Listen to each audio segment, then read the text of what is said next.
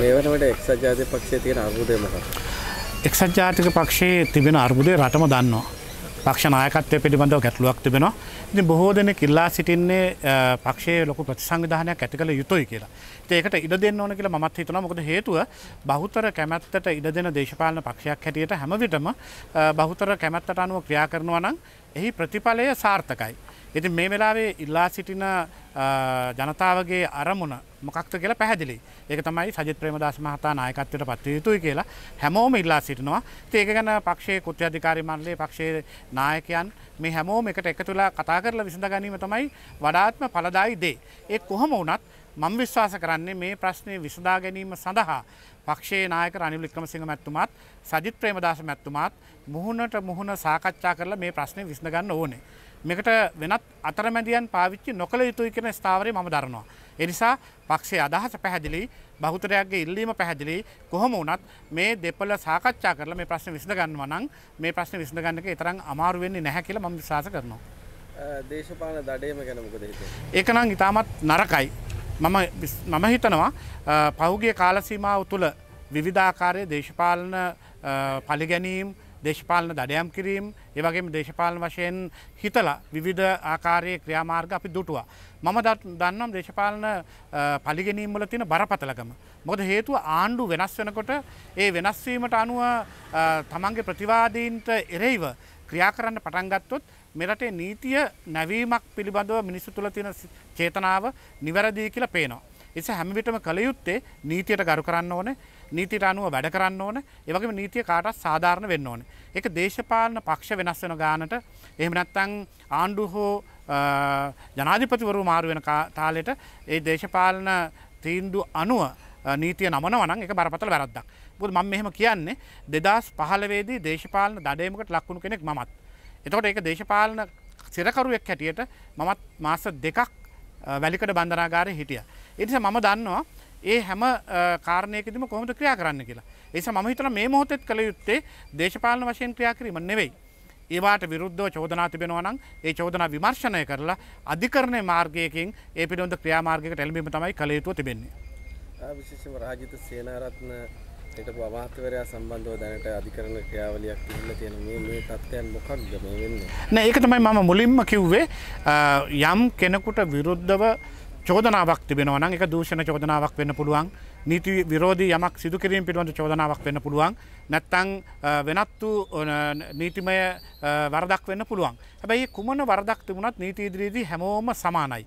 එහෙමනම් පරණ සිදුවීම් පිළිබඳව තීන්දු තීරණ ගැනීමවලදී අ, පූර්ණ පරීක්ෂණයකින් පසුව අධිකරණය මගින් ඒ පිළිබඳ ක්‍රියා කරනවා හැර. ගෙවල්ලෝට කඩාගෙන පැනල මිනිස්සු අත්තරකොට ගැනීම් ඒවගේම බලපෑම් කිරීම්. එම නැත්තං දේශපාලන වශයෙන් කල්පනා කරලා විවිධ ආකාරයේ තීන්දු තීරණ ගැනීම් නිසා නීතිය පිළිබඳ තියෙන විශ්වාසය බිඳ වැටෙනවා. එතොට වෙන්නේ කවුරු හරි අ, හස්තයක් දේශපාලන හස්තයක් මේ පිළිබඳ මෙහෙම් කරනවායි කියලා මිනිසුන්ට තේරෙන්න පුළුවන්. ඒම උනහම ඒ නීතිය පිළිබඳ තියෙන විශ්වාසය අධිකරණය පිළිබඳ තියෙන විශ්වාසය බිඳ වැටෙනවා. ඒසයි අපි කියන්නේ කාට වුණත් වැරද්දක් පිළිබඳ චෝදනාවක් තිබෙනවා නම් ඒ චෝදනා විමර්ශනය කිරීමට කිසිවෙක් විරුද්ධ විය යුතු නැහැ. ඒ වගේම පරණ සිද්ධි සම්බන්ධයෙන් ඉතිහාසය සිද්ධි සම්බන්ධයෙන් පරීක්ෂණ කරනවා නම් පූර්ණ පරීක්ෂණකට පස්සේ තොරතුරු තිබෙනවා නම් ගත යුතු ක්‍රියාමාර්ග වෙන්නේ අධිකරණයට වාර්තා කරලා තීරණයක් ගැනීම. එනිසා මේ මොහොතේ කරන්නේ දේශපාලන දඩයමක් ඒකට අපිට එකඟ වෙන්න අමාරුයි. ආ, විශේෂයෙන්ම ඉදිරි මහමැතිවරණය සඳහා එක්සත් ජාතික පක්ෂය අපි දකිනවා බිම් මට්ටමේ කිසිදු ආකාරයක සංවිධාන මට්ටමයක් අපි දකින්නේ නැහැ. පාක්ෂික අ, ශ්‍රී ලංකා පොදු ජන පෙරමුණ ගත්තොත් ග- මේ මේ වන විටත් ඔවුන් සියලු සංවිධාන කටයුතු ශාඛා සමිති සියල්ල අ, බලගන්වමින් සිටින්නේ. කෝ මොකද වෙලා තියෙන්නේ? ඇත්තටම එක්සත් ජාතික පාක්ෂිකයන්ගේ අරමුණු සහ වුවමනාව ඒවගේම ආණ්ඩුවට සම්බන්ධ නොවන මැදිහත්කරුවන්ගේ අ, දේශපාලන වුවමනාව පිළිබඳව එක්සත් ජාතික පක්ෂය නායකයන් සහ එක්සත් ජාතික පෙරමුණේ නායකයන් අ, අ, සිතා බැල යුතුයි කියන එක ඇත්ත. මොකද මේ අර්බුදයක් සහ ගැටුමක් මත වාසිය ඇති වෙන්නේ ආණ්ඩුවට. නැත්තං දේශපාලන වශයෙන් තමන්ගේ ප්‍රතිවාදයට ඒක ඉතාමත් බරපතලයි මොකද මෙහෙම සිද්ධ වුණහම එහි නිරන්තර වාසී යනවා ආණ්ඩුවට ඉතින් ඒ ගැන කල්පනා කරලා හැම විටම ක්‍රියා කළ යුතුව තිබෙන්නේ මිනිස්සුන්ගේ ඕනා වුවමනාව සහ දේශපාලන අරමුණ ඉෂ්ට කරන්න. එස මම විශ්වාස කරනවා ඇත්තටම මේ දේශපාලන මතකැටුම නිසා වාසි ගන්න ආණ්ඩුවට ඉඩ නොදිය යුතුයි කියලා. විශේෂයෙන් මේ වෙනකොට ප්‍රශ්න ගොඩක් සමාජය මතු වෙලා බලාපොරොත්තු සහගතව ක්‍රියාකරපු අය මේ දින තිහ තිස් පහ ඇතුළට ඉතාමත් වේගෙන් හැරමින් පවතිනවා කියලා මට පේනවා. ඉති නිසා මේක දිනාගන්න මොකද අපි කර යුතු තිබෙන්නේ. සමග සම්පන්න බවත් එකමුතු බවත් වැඩපියවලක් ඇතුව සංවිධානය කිරීමත් ඉතාමත් අත්‍යවශ්‍යයි. ති වාදවේද තියාගෙන මේ ගමන යන්න අමාරුයි. එනිසා නායකයන් හැටියට ඒ හැම දෙනාම අභ්‍යන්තර සාකච්ඡාවකින් මේ විසදාගත යුතුව තිබෙනවා. විශේෂයෙන්ම එක්සජාතික පක්ෂයේ නායකයන් හැමවිටම කියන කතාවක්නේ ලිච්චවී රජදරුවන්ගේ ආදර්ශය අර්ගන ක්‍රියා කරනවයි කියලා. එහෙමනම් ලිච්චවී රජදරුවන්ගේ ආදර්ශය ගන්නවනම් සමගියෙන් රැස්වෙලා සමගියෙන් සාකච්ඡා කරලා සමගියෙන් විසරයන්න පුළුවන් විදියට ක්‍රියා කිරීම තමයි පක්ෂ නායකයන්ගේ වගකීම. ප්‍රජාතන්ත්‍රවාදය ශක්තිමත් කරන්න ඕනේ අඩුපාඩු බොහෝමයක් තිබෙනවා. අපි කාටවත් ආවරණය කරන්න ආරක්ෂ කරන්න වුවනාවක් නෑ. පක්ෂයේ තීන්දු තීන්දු ගත තීරණ ගත යුතුව තිබෙන්නේ ප්‍රජාතන්ත්‍රවාදයට අනුව එකවේ එක්සත් ජාතික පක්ෂය නම් කෘත්‍යාධිකාරී මණ්ඩලය සහ පාර්ලිමේන්තු මන්ත්‍රී කණ්ඩායමට තියෙන ඒ අයිතිය කාටවත් බාධ කරන්න හොඳ නෑ. විශේෂ මම හිතනවා හැම විටම බහුතර මතයට හා තීන්දුවට අනුව ක්‍රියා කරනවා නම් හුඟක් ප්‍රශ්න නිරාකරණය කරගන්න පුළුවන්. අපි හැම විටම එකට ගරු කරන්න ඕනේ. විශේෂයෙන්ම පක්ෂ නායකත්වය සම්බන්ධව කතානායකතුමාගේ නම යෝජනාවීම් තියෙනවා ඒ ගැන මොකද ඔබතුමා දකින්නේ?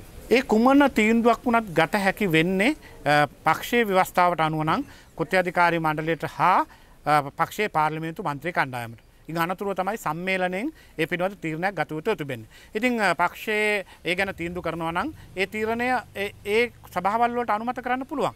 මම දන්නේ නැහැ කරු ජයසූරිය මහතා නායකත්වයට පත්වීමට යෝජනා කරනවද සජිත් ප්‍රේමදාස මහතා යෝජනා කරනවද රනිල් වික්‍රමසිංහ මහතා යෝජනා කරනවද කියන කාරණේ නිශ්චිත වශයෙන් නමුත් ප්‍රශ්න තිබෙන්නේ බිම් මට්ටමේ ජනතාවගේ හැඟීම නම් සජිත් ප්‍රේමදාස මහතා නායකත්වයට පත්විය යුතුයි කියලා. හැබැයි පක්ෂයේ නීතිරීතුවට අනුව එය විවස්ථානුකූල විය යුතුව තිබෙනවා. එනම් කෘත්‍යාධිකාරි මණ්ඩලය පිළිබඳ තීරණයක් ගත යුතුව තියෙන්නේ. විශේෂයෙන්ම ආණ්ඩුවේ කුමන්ත්‍රණයට එක්සත් ජාතික පක්ෂය ගොදුරු වෙලාද. දැන් පිටින්දලා බලන ඕන කෙනෙකුට එහෙමත් හිතන්න පුළුවන්. හේතුව තමයි ජනාධිපතිවරණයක් නැත්තම් මහා මැතිවරණයක් පරාජයට පත් වුණාට පස්සේ ඊට පසුදායෙන් ඉඳලම යලිත් තමන්ට ඡන්ද දුන්න ඡන්දදායකයන් වෙනුවෙන් නැගී සිටීම තමයි ඡන්දදායකයන්ගේ අපේක්ෂාව. ඒකිව්වේ හැමවිටම ප්‍රතිවාදී දේශපාලන පක්ෂයට ඉරෙහිව සංවිධාන ඇතිකිරීම සංවිධානය වීම සහ නැගී සිටීම මහජනතාව බලාපොරොත්තු වෙනවා. ඉතින් ඒ බලාපොරොත්තුව ඉෂ්ට කරන්න නායකයන් කැපවිය යුතුව තිබෙනවනේ. එහෙම නොවන හැම තැනකදීම ජනතාව හිතන්න පුළුවන් ආණ්ඩුවත් එක්ක ඩීල් එකක් තියෙනවා ආණ්ඩුවත් එක්ක සමහර විට සම්බන්ධකම් තියෙනවා ආණ්ඩුවේ ඕනෑකමට හැසිරෙනවා කියලා චෝදනා කරන්න පුළුවන්. හැබැයි ඒක මහජනතාව එහෙම බලන් ඉන්න ඉඩදීම සාධාරණ නෑ. මම විශ්වාස කරන්න මේ මොහොතේ කළ යුතුව තිබෙන්නේ මහජන මතයට අනුව ඉක්මනින් සංවිධානය වෙලා ඒ ඡන්දය දුන්නු ජනතාව වෙනුවෙන් යලි වේගෙන් නැගී සිටින වැඩපිළිවෙලක් ඇති කිරීම. ඒකේ දිගුවක් කියලා ඔබතුමා හිතන්නේ නැද්ද මහ බැංකු බැඳුම් කර සිද්ධිය සම්බන්ධව තවමත් නීතිය ක්‍රියාත්මක වෙන බවක් අපි දකින්නේ පාලකයාගේ කැමැත්ත නීතියද? ඒක තමයි මෙතන තියෙන ලොකුම වැරද්ද. මම කිසි විටක ශ්‍රී ලංකා මහබැංකුවේ බැඳුම් කර ගණදනුව සම්බන්ධයෙන් සිදුවලා තිබෙන වංචාව නිවැරදි එහනත්තං ආරක්ෂා කරන්න කිසි විටක උත්සාහ කරන කෙනෙක් නෙවෙයි. වැරද්දක් කවරු කරත් ඒ වැරද්දට නිසි දඩුවම් ලංකාවේ නීතිට අනු දෙන්න ඕන එකන කැලෑ නීතිය ක්‍රියාත්ම කිරීමක් නෙවෙයි එමනත්තම් පාලකයන්ගේ අදහ සුදාසනුව නීතිය නැවීමත් නෙවෙයි. අපිට උවමනාව තිබෙන්නේ එහෙම වංචාවක් දූෂණයක් ජනතා දේපල සම්බන්ධයෙන් ජනතාව මුදල් සම්බන්ධයෙන් සිදු කරනවා නම් ඒට එරෙහිව නීතිය ක්‍රියාත්ම කරන්න හැම පාලකෙක්ම බැදඉන්න ඕන්. බලන්ට අපේ අවට තියෙන රටවල් විශේෂෙන්ම මැලේෂයාව සිංගප්පූර් වගේ රටවල් නීතිය ක්‍රියාත්ම කරන ආකාරි දැන් පාකිස්ානිත්ම මෑත කාලේ දැක්කා. නීතිය ක්‍රියාත්ම කරන ආකාරය එක සාධාරණත්වය හැම දෙනාටම ක්‍රියාත්මක වෙන විදිහට පාලකයන් ක්‍රියාක්‍රීන්ට උත්සාහ කරනවා. එතට මොකද එතනදි වෙන්නේ. ඉතින්දි වෙන්නේ පාලකයන් පිළිබඳ විශ්වාසය හා ප්‍රසාදය ජනතාවට ලැබෙනවා. එම නැත්තම් පාලකයන්ගේ කැමැත්තානුව නීතිය නවන්න ගයාම නීතිය සාධාරණත්වය ආධිපත්තිය බිඳ වැටෙනවා. ඉතින් ම හිතනවා මහ බැංකුවේ බැඳුම්කර ගණදුණු ගැන වනත් චෝදනාවට ලක්වෙච්චා ඉන්නවන ඒ අයට විරුද්ධ නීතිය ක්‍රියාත්ම කරන්න.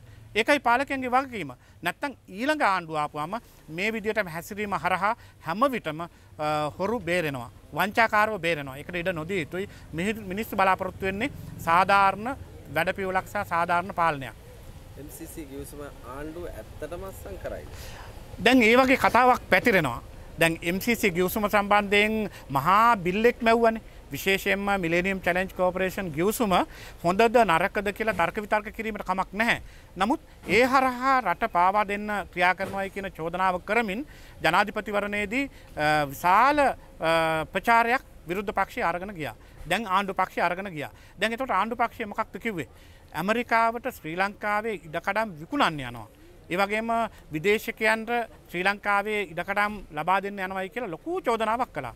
ඒවගේම ඇමරිකාවට ශ්‍රී ලංකාව පාවල දෙන්න උත්සාහ කරනවයි කියලා මතයක් ජනතාව තුළ ගෙනනිච්චා එක බොරුවක් නෙවෙනි හැබැයි මිලේනියම් චලෙන්ජ් කෝපරේෂන් ගියවසුම හොඳ නරකද කියලා කතා කරනවන එක වඩාත් උචිතයි හැබැ ප්‍රශ්න වෙලා තිබෙන්නේ මේ ආණ්ඩුව එහෙම විවේචනය කරපු ගිවසුම යල්ලි ගේන්න උත්සාහ කරනවයි කියලා චෝදනා කරමින් තිබෙනවා.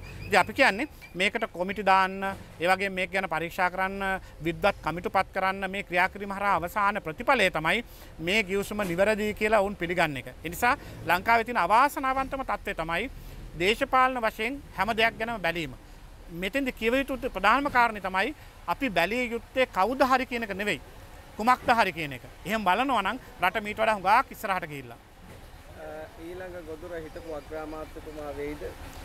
මම දන්නේ නැහැ මොන විදියට ඒව ගැන ක්‍රියා කරයිද කියලා. හැබැයි තියෙන්නේ වරදක් කරලා තිබෙනවා නම් ඕනෑම කෙනෙකුට විරුද්ධව නීතිය ක්‍රියාත්මක කිරීම ප්‍රශ්නයක් නෙවෙයි. හැබැයි දැන් ක්‍රියාත්මක වෙන ආකාරය දැක්කමත් පේන්නේ තමන්ගේ මතයට විරුද්ධව ක්‍රියා කරන පිරිස්වලට විතරක් නීතිය ක්‍රියාත්මක වෙන තත්ත්වයක් දැන් මේ නීතිය හසුරුවන ආකාරයෙන් අපට පේනවා. ඒ කියන්නේ නීතිය නමනවයි කියන එක පැහැදිලි. ඒ නිසා කුමන ආකාරයට ක්‍රියා කරනවද මන් දන්නේ නැහැ. ලංකාවේ ඕනෑම පුරවැසියෙකුට විරුද්ධව චෝදනාවක් තිබෙනවා නම් ඒ ගැන ක්‍රියා කිරීම ජනතාව බලාපොරොත්තු වෙනවා. ඉතින් මම දන්නේ නැහැ ආණ්ඩුව මොන දේශපාලන න්‍යාය පත්‍රයකින් ක්‍රියාත්මක වෙනවද කියලා. මේ වගේ වීඩියෝ දිනපතා නරඹන්න අපේ channel එක subscribe කරන්න.